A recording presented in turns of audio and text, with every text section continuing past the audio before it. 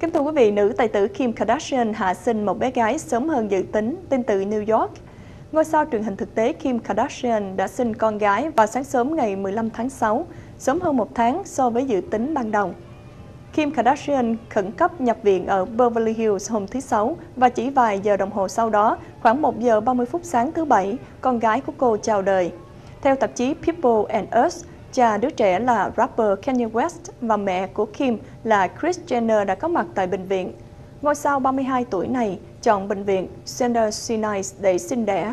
Đây cũng là bệnh viện mà nhiều người nổi tiếng đã lựa chọn như là Britney Spears, Victoria Beckham và Jessica Simpson.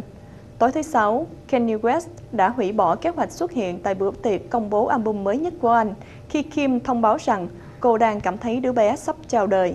Và không lâu sau đó thì cặp đôi này xác nhận rằng Kim đã vào bệnh viện. Kim công bố mang thai với Kanye West vào tháng 12 năm ngoái.